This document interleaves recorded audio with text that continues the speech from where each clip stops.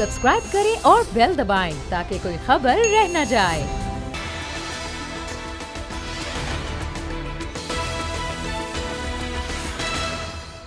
السلام علیکم، میں ہوں فیصل عزیز خان اور آپ دیکھ رہے ہیں بات ہوگی۔ پاکستان کے سب سے بڑے شہر کا سب سے بڑا مسئلہ ہے کچرا اٹھانا۔ تقریباً بارہ سال سے یہاں جو کچرا پڑا ہوا ہے اس شہر کے اندر، اس کی جو تعداد ہے وہ تقریباً ڈیڑھ لاکھ ٹن کے قریب ہے۔ روزانہ پندرہ ہزار ٹن یہ شہر کچرا پیدا کرتا ہے۔ بہت زیادہ شور شرابہ ہوا۔ آپ نے تمام ہی سیاسی قائدین کی گفتگو سنی پروگرام کے شروع میں۔ اب یہ کچرا پاکستان پیپلز پارٹی کی گورنمنٹ نے آج سے اعلان کیا ہے کہ ہم اٹھائیں گے۔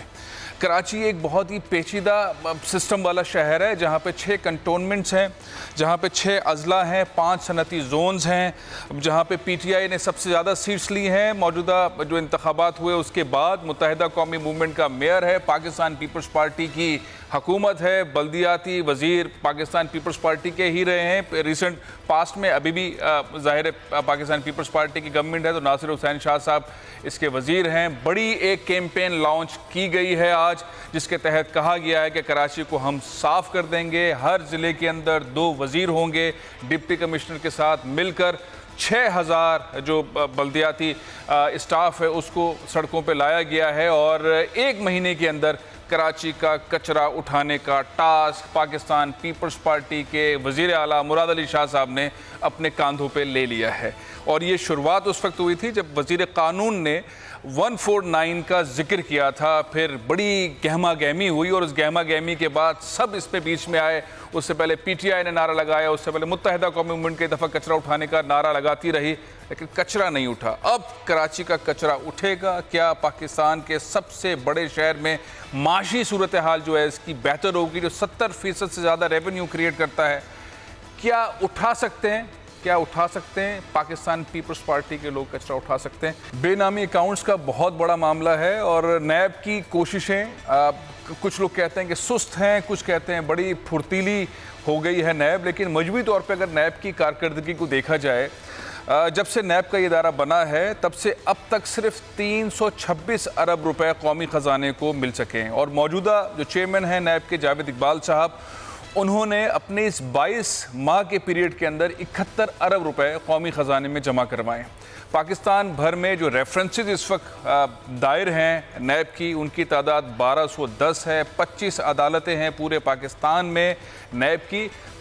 اور جو اس وقت مقدمات چل رہے ہیں نیب کے، جس میں یہ پاکستان پیپرز پارٹی کے رہنما گرفتار ہے لیڈرز گرفتار ہیں اور حراست میں لیے جا رہے ہیں، پوچھ گچھ ہو رہی ہے براکریسی سے پوچھ گچھ ہو رہی ہے، سارے ریفرنسز تین سے پانچ سال پرانے ہیں۔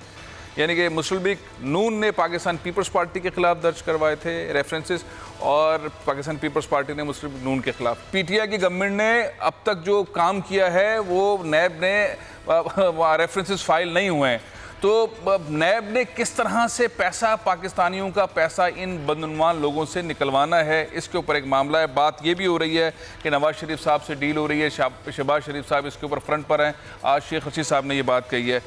پاکستان کو یہ پیسے واپس ملیں گے؟ اس پر ہم بات کرتے ہیں۔ میرے ساتھ موجود ہیں colonel retired uh, Shahzad Anwar Bhatti صاحب تجزیہ کار ہیں۔ نیب کے اوپر گہری نظر رکھتے ہیں۔ بھٹی صاحب، نیب کی کارکردگی uh, میں نے حوالہ دیا، آپ کو ڈیٹا بتایا، آپ کے پاس اب کیا اطلاعات ہیں؟ کیا تجزیہ ہے آپ کا کہ نیب، اب لوگ کہہ رہے ہیں بہت سستی کے ساتھ آگے بڑھ رہی ہے۔ ایک دو ایونٹ ہوتے ہیں، اس سے ایسا لگتا ہے کہ بہت بڑا کوئی محاذ کھول دیا ہے۔ لیکن مجموعی طور پہ دیکھا جائے تو یہ جو ریفرنسز ہیں، ان کی مالیت نو سو عرب کے لگ بھگ ہے۔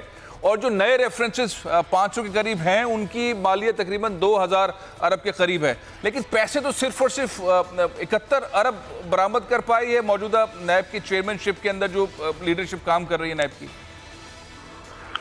بسم اللہ الرحمن الرحیم، فیصل آپ نے جو بات کی اکہتر ارب اس کے ساتھ صرف لگا دیا کہ صرف اکہتر ارب اگر آپ اس کو کہے آپ دوسری ٹون میں کہتے ہیں جی اکہتر ارب روپے ریکور کیے ہیں، تو دیکھیے اس طرح بھی بات بن جاتی ہے۔ آج تک نیب نے تین سو سے اوپر بلین ریکور کیے ہیں۔ مجھے کسی اور ادارے کا بتائیے کہ جس نے کوئی ایک ارب روپیہ بھی ریکور کیا ہو۔ تو ایک بات ذہن میں رکھیے کہ نیب جو ہے، یہ کوئی ریونیو کا ادارہ تو نہیں ہے کہ جس نے پیسے ہی ریکور کرنے ہیں۔ اس کا طریقہ کار یہ ہے کہ یہ انویسٹیگیشن کرے اور کرپٹ شخص کو کیفر کردار تک پہنچائے، اس کو قانون کے حوالے ہو، قانون اس کو سزا دے ڈیو پروسیس چلے۔ دوران بھٹی صاحب جو آرڈیننس ہے اس کے تحت تو ایک ماہ کے اندر اس کیس کا فیصلہ ہونا چاہیے۔ دو ماہ میں ہو جائے تین ماہ میں ہو جائے۔ یا تو پانچ پانچ سال تین تین سال چلتے رہتے ہیں کچھ نہیں ہوتا۔ میں بریگیڈیئر غزنفر صاحب کو چاہوں گا کہ گفتگو میں شامل کروں۔ بریگیڈیئر صاحب ہم سنتے رہے ہیں کہ نیب جو ہے اس طرح سے کام نہیں کرتا۔ ابھی کرنل شہزاد انور بھٹی صاحب کہہ رہے ہیں کہ کوئی ریونیو کا ادارہ تھوڑی ہے نیب لیکن قوم کی نظریں اس طرح سے لگی ہوئی ہیں، اس طرح سے لگی ہوئی نیب کی طرف کہ بھائی پیسے نکالو جنہوں نے پیسہ، ملک کا پیسہ لوٹا ہے، ان کو، ان سے ان سے پیسہ نکالا جائے۔ آپ کیا کہیں گے؟ بریگیڈر صاحب اس سارے سست ہے ٹھیک کام کر رہی ہے، قوم کو انتظار کرنا چاہیے، پیسے مل جائیں گے۔ اصل میں چونکہ یہ سارا نیب کا جو پروسیس ہے، وہ انویسٹیگیشن انٹروگیشن کمپائلیشن اور اس کے بعد پھر جو آپ ثبوت جمع کرتے ہیں اس میں آپ نے جا کے مقدمہ درج کرانا ہوتا ہے، جیسے ابھی زرداری صاحب کے خلاف آ رہے ہیں کہ جی فرد جرم عائد کی جائے گی۔ اور اس کے بعد دیکھیے لمبا پروسیس کے ساتھ آپ اٹھا کے دیکھ لیے شرجیل محمد صاحب کا کچھ پیچھے جائے تو ڈاکٹر عاصم کا۔ اور بڑے بڑے کیسز ہیں جو پتہ نہیں کا ویسے تو پاکستان میں آپ کو پتہ ہے، آپ خود بھی جانتے ہیں کہ نارمل عدالتوں میں جو جوڈیشل سسٹم کے تحت جو مقدمات چلتے ہیں ان کی آپ کو پتہ ہے کہ کتنی کتنی لمبی پیشیاں ہوتی ہیں اور ابھی سپریم کورٹ اس کو ان مقدمات کی ڈیوریشن کو ریوائز کرنے کی کوشش کر رہی ہے۔ تو نیب بنیادی طور پہ اس پہ میرے، مجھے جو لگتا ہے کیونکہ میں I am not part of the NAB but میری آبزرویشنز یہ ہے کہ نیب کے اپنے جتنے کیسز اٹھا لیے ہیں، اس کے حساب سے جو ان کے پاس انویسٹیگیشن انٹیروگیشن اور اس کے بعد انویسٹیگیشن انٹیروگیشن کے بعد اب کوریبوریشن آف فیکٹس کرتے ہیں کوریبوریشن کرتے ہیں جس سے آپ کے فیکٹ سامنے آتے ہیں۔ تو وہ جو انویسٹی انویسٹیگیٹو ٹیمیں ہیں ان کی ان کی ان کے اوپر بہت زیادہ لوڈ ہے۔ ان کے اوپر لوڈ ہے کیسز کے حساب سے کیونکہ یہ کیسز وائٹ کالر کرائم ہے وائٹ کالر کرائم دنیا میں کہیں بھی ثبوت نہیں چھوڑتا۔ اچھا اچھا میں اچھا شہزاد انور بھٹی صاحب سے جاننا چاہوں گا۔ بھٹی صاحب یہ جو بارہ سو دس ریفرنسز ہیں اور جو جس ایسے بگڑے صاحب کہہ رہے ہیں کہ اتنی صلاحیت نہیں ہے نیب کی کیسز زیادہ لے لیے ہیں، یہ کیسز کیسے نپٹائے جائیں گے؟ دیکھیے میں بالکل ایگری کروں گا بگڑی صاحب سے، جو انہوں نے بات کی ہے بریگیڈیئر ظفر نے لیکن اس میں صرف آدھے حصے پہ۔ نیب اپنی جو کپیسٹی جو انویسٹیگیشن کی ہے انکوائری کے، اس کے مطابق ہی چیزیں اٹھا رہی ہوتی ہے اور اس کے پاس یہ اختیار نہیں ہے کہ وہ سلیکٹیو ہو جائے کہ کسی کو چوز کرے۔ جو اس کے پاس چیز آئے گی اس کو اس کو کرنا ہے، ورنہ سلیکٹیو ہوئی تو وہیں اس کا کباڑا ہو جائے گا احتساب کا۔ لیکن دوسری طرف یہ ہے کہ یہ بات بڑی سچ ہے کہ پچیس کوٹ اور بارہ سو دس کیسز تو اگر وہ بڑی تیز بھی ڈیلی ہیرنگ بھی کریں تو میرا خیال ہے ایک کیس کی باری مہینے بعد بیچاری آتی ہے۔ تو گورنمنٹ نے اگر کوئی مدد کرنی ہے نیب کی تو قانون امینڈ کر کے نہیں کر سکتی بلکہ اس طریقے سے کر سکتے ہیں کہ کورٹوں کی تعداد بڑھائی جائے۔ اور ججز کو پوسٹ کیا جائے کئی کئی مہینے کورٹ خالی رہتے ہیں اور جج نہیں پوسٹ ہوتے۔ تو ججز کو ٹائملی پوسٹ کیا جائے کورٹوں کی ان اسپیشل کورٹس کی تعداد کو بڑھایا جائے وائٹ کالر کرائم ہے وائٹ کالر کرائم میں بڑی انٹری کیسز ہوتی ہیں، بڑی مائنر سی چیزیں ہوتی ہیں جن کو بڑی تسلی سے پروسیکیوشن نے جج کے سامنے لانا ہوتا ہے۔ یہ بڑی تیزی سے کرنے والا کام نہیں ہوتا۔ تھرٹی ڈیز کی بات اس وقت جب کی گئی تھی، جب قانون میں لکھی گئی تھی، اس وقت خیال تھا کہ بس روز دو کیس آئیں گے اور ان کو یہاں تو سب کے سب ہی ہے کیسز زیادہ آ گئے آپ ٹھیک کہہ رہے ہیں حکومت کو تعاون یہاں کرنا چاہیے کہ کورٹس کی تعداد بڑھائے اور ججز کو دیا جائے اور نیب کی جو سہولیات نیب کو دینی ہے جو بھرتیاں کرنی ہے اس پہ مدد کرے تاکہ یہ معاملہ تیزی سے آگے بڑھے۔ بہت بہت شکریہ بھٹی صاحب۔ بریگیڈر صاحب مشن کمشیر ہم یہ دیکھ رہے ہیں prime minister of Pakistan mission Kashmir پر امریکہ پہنچ گئے ہیں۔ مودی بھی وہاں ظاہر ہے کہ پہنچے اور جلسہ کر رہے ہیں ہوسٹن کے اندر۔ پاکستانی مظاہرہ کرنے والے ہیں وہاں پر۔ میں چاہوں گا کہ کوئی امریکی رہنما، پاکستانی رہنما جو ہے وہ ہمارے ساتھ ٹیلیفون لائن پہ موجود لیکن پاکستان کی ڈائریکشن کے بارے میں آپ کیا کہتے ہیں؟ بریگیڈر صاحب کہ پاکستان کے سم ٹھیک ہے، پاکستان ٹھیک جا رہا ہے، مشن کشمیر کے اوپر پاکستان کے اہداف آپ کی نظر میں کیا ہیں؟ فیصل کیونکہ آپ نے مشن کشمیر کا نام لیا اور کشمیر اس وقت ریلیٹ کرتا ہے۔ جو کشمیر کے اندر دو چیزیں ہوئی ہیں۔ ایک جو ایڈیشنل چالیس ہزار انڈکشن آف فورسز کے ساتھ جو ہیومن رائٹس وائلیشن ہو رہی ہے جو دنیا میں غالباً ہٹلر کے زمانے اور میسولینی کے زمانے میں بھی نہیں ہوئی۔ اور اس کے ساتھ ساتھ جو انسانیت سوز گیارہ قوانین پچھلے گیارہ سال سے کشمیر کے اندر لگائے گئے ہیں جس کے اندر سیکیورٹی فورسز کو ایک اوپن ہینڈ دے دیا گیا ہے کہ وہ جس کو ماریں ٹارچر کریں، عورتوں کو ریپ کریں، اس کے بعد میس گریز بنائیں، ان کو دفن کریں، اس میں اور زیادہ اضافہ ہوا ہے۔ ایک اس کا پہلو یہ ہے، اس کے ساتھ ساتھ چالیس ہزار چالیس ہزار فورس کو کشمیر کے اندر لانے کی اور خاص طور ویلی کے اندر لانے کی کوئی تک بنتی نہیں ہے، کوئی ریزن نہیں بنتا، کوئی لاجک نہیں بنتا کہ آپ پانچ آدمیوں کے اوپر ایک سپاہی کھڑا کر دیں، پانچ عورتوں کے اوپر ایک سپاہی کھڑا کر دیں۔ اور دوسرا جو اس کا ٹینجنٹ ہے وہ ہے کہ 370 اور 35 اے کو ختم کر کے کشمیر کو جو اسپیشل اسٹیٹس تھا، جس میں صرف بھارت کے پاس تین چیزیں ہونی تھی، دفاع تھا کمیونیکیشن تھا اور باقی کرنسی تھی۔ باقی تمام چیزیں کشمیر کی کانسٹیٹیوشن اسمبلی ہینڈل کرتی تھی اور اس کو وائلیٹ کر کے کشمیر کی کانسٹیٹیوشن اسمبلی میں مقدمہ پیش کریے بغیر جس طرح اس کو وائلیٹ کیا، دوسرا اس کا اینگل یہ ہے۔ اب پاکستان نے ان دونوں اینگلز کے اوپر بڑی مؤثر طریقے سے آواز اٹھائی ہے۔ صرف پاکستان کی آواز اٹھانے کا یہ فیکٹر ہوا ہے کہ پوری دنیا میں پرنٹ اور الیکٹرانک میڈیا نے اور آپ لوگوں نے جو اس کو پاکستان کے اندر جو پرنٹ اور الیکٹرانک میڈیا نے مختلف چیزیں اور مختلف طریقہ کار سے اس کشمیر کی سچویشن کو کور کرنے کی کوشش کی ہے تو آج مودی جو ہے وہ it has being compare to Hitler and Mussolini not in Pakistan but in international press اور میں آپ کو کوٹ کر سکتا ہوں کوئی بائیس آرٹیکل کوٹ کر سکتا ہوں جس میں مودی کو جو ہے وہ ریلیٹ کیا گیا۔ انڈیا ہٹلر کے ساتھ۔ اب پاکستان یہ تمام چیزیں اس وقت ہوئی۔ اگر پاکستان چپ رہتا تو دنیا میں تو کوئی ڈائریکٹ ٹریول نہ کرتا یا دنیا میں کوئی چیز ایسی نہیں تھی جو آ کے وہاں پہ اٹھتی۔ کسی نے تو آواز اٹھانی تھی۔ کشمیریوں کی آواز تو دبا دیا گیا ہے۔ انٹرنیٹ کمیونیکیشن سب کچھ ختم کر دیا گیا ہے۔ پاکستان آواز صحیح سمت میں اٹھا رہا ہے آپ یہ کہہ رہے ہیں۔ میں چاہوں گا کہ امریکہ کے شہر ہوسٹن سے طاہر جاوید صاحب ہمارے ساتھ ٹیلیفون لائن پر موجود ہیں۔ پاکستانی بڑی تعداد کے اندر وہاں مظاہرہ کرنے جا رہے ہیں۔ مودی جب وہاں جلسہ کریں گے۔ تاہی جاوید صاحب، یہ جو پاکستان کے سمت ہے، مشن کشمیر، اس کے اوپر عمران خان صاحب امریکہ پہنچ گئے۔ اب پاکستانی متحد ہیں، آپ مسلسل مختلف سینیٹرز کے ساتھ، کانگریس مینس کے ساتھ جو نمائندے ہو سکتے ہیں مختلف پارٹیز کے انکلوڈنگ جو کینڈیڈیٹس ہیں پریزیڈنشل کینڈیڈیٹ ان سے ملاقاتیں کرتے رہے اس وقت کیا آپ دیکھ رہے ہیں؟ پاکستان کے پاس کیا کیا آپشنز ہیں اور کتنا پاکستانی جو ہے ایکسپوز کرنے میں کامیاب ہو گئے مودی کو، اس کے ظلم کو، اس کے مظالم کو۔ دیکھیں، امریکہ کے اندر ابھی بھی بہت کام کی ضرورت ہے۔ ہم لوگوں نے کسی حد تک پانچ سو کے قریب جو لا میکرز uh, uh, پانچ ساڑھے پانچ سو جو فیڈرل لا میکرز جس میں سینیٹرز اور کانگریس مین ہیں، میرا خیال ہے کہ ان میں سے بھی بڑی مچ آدھے لوگوں کو شاید یہ میسج ابھی گیا ہو۔ کیونکہ جن جن لوگوں کو ہم جا کر کے مل رہے ہیں، کچھ آرٹیکلز آئے ہیں۔ باقی کے جو آدھے ہیں ان کو یہ پتا ہے کہ سیونٹی ایئر سے یہ مسئلہ ہے کشمیر کا۔ ابھی جو چینج آئی ہے نا اس کے اندر کیا چینج آئی ہے؟ یہ تھوڑا ٹیکنیکل کام ہے جس کو آپ کسی بندے کے ساتھ پندرہ منٹ بیٹھ کے اس کو سمجھاتے ہیں تو اس کی سمجھ میں آتی ہے بات۔ اور وہ آپ کو لے کے پڑھنا چلنا پڑتا ہے پیچھے سے کہ بھی ایسے کیوں ہوا تو اور آج ایسے کیوں ہو گیا۔ اس لیے جو کامن آدمی ہے اس کے اس تک تو بات یہ چیز نہیں گئی۔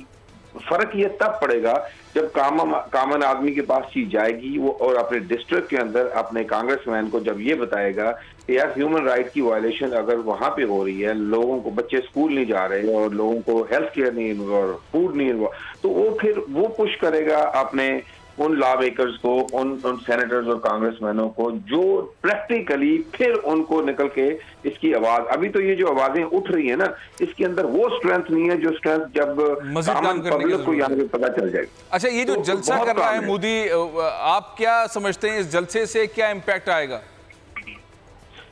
جلسے کے ہاں یہ جو جلسہ مودی کرنے آ رہا ہے میں اگر مودی کی جگہ ہوتا تو ان سرکمسٹانسز میں جلسہ نہیں کرتا۔ اس کی ریزن یہ ہے کہ یہ اندر جلسہ کر کے جو مرضی ثابت کرتا رہے جب اس کے ساتھ پندرہ ہزار بندے باہر بیٹھیں گے تو اگلے دن کے نیوز پیپرز مودی کے جلسے کے برابر کی خبریں لگائیں گے کہ جی اندر ایئر کنڈیشن کیا اندر ایئر کنڈیشن میں پچاس ہزار بندہ بھی بیٹھا ہو اور باہر دھوپ میں اس کو پندرہ ہزار لوگ اگر پروٹیسٹ کر رہے ہیں تو وہ وہ باہر کی خبر زیادہ بڑی خبر بن جاتی ہے۔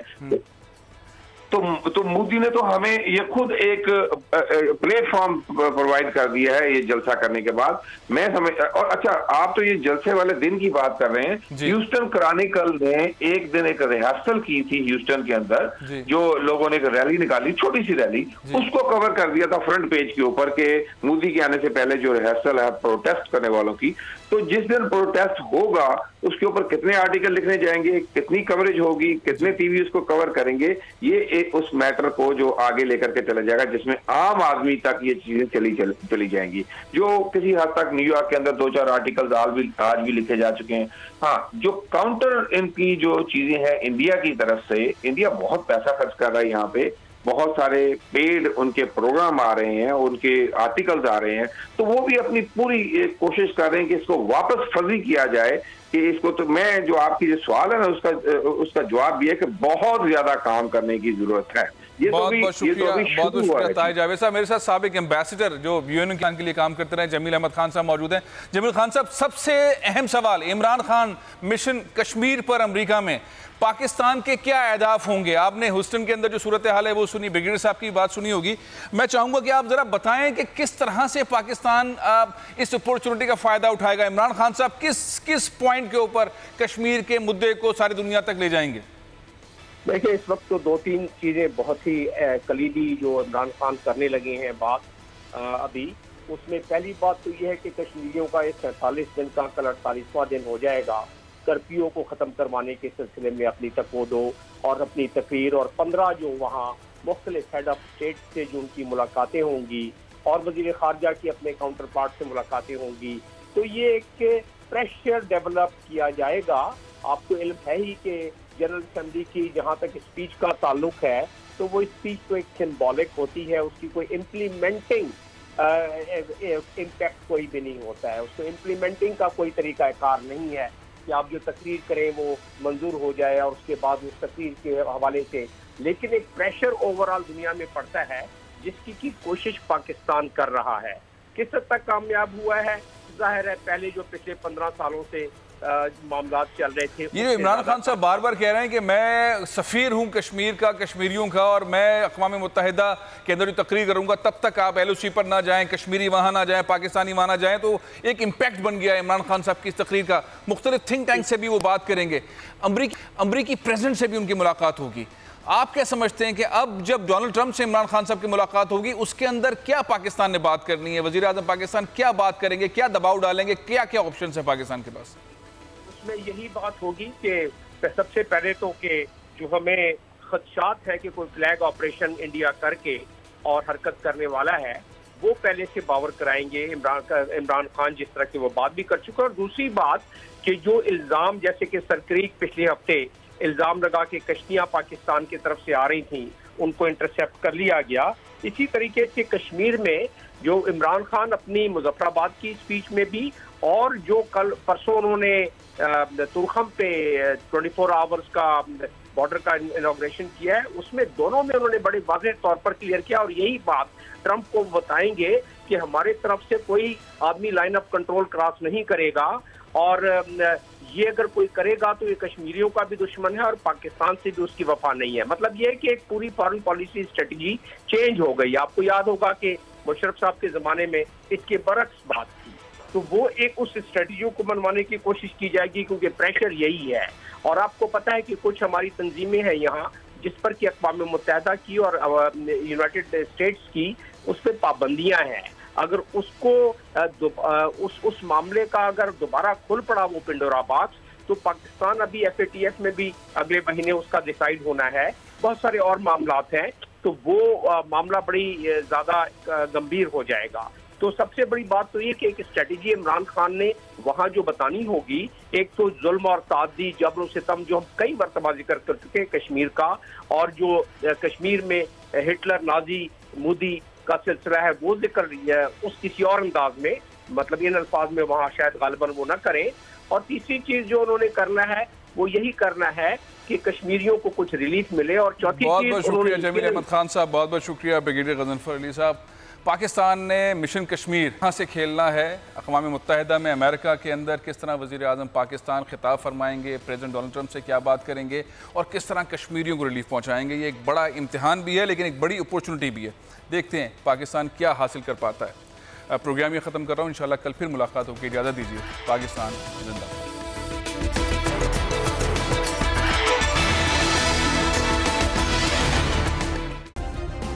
سبسکرائب کریں اور بیل دبائیں تاکہ کوئی خبر رہ نہ جائے۔